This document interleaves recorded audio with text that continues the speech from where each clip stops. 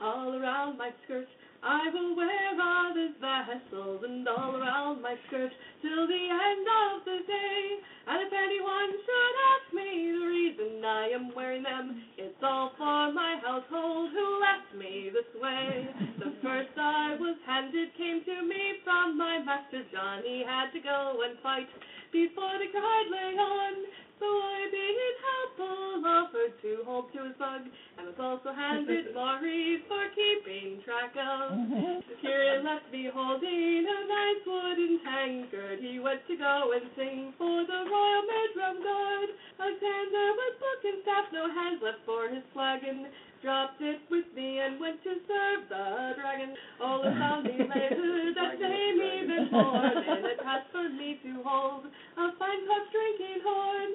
Not to be left out Dorian, who see followed them, left a pewter goblet with a hand casted Sam. So I hit the merchant to add more lupies to my belt. I wanted to free my hands before my wrist and mouth, and that's how I got left holding all of their drinking mugs. But tonight I'll hand them off to Philip and Torkel to lug.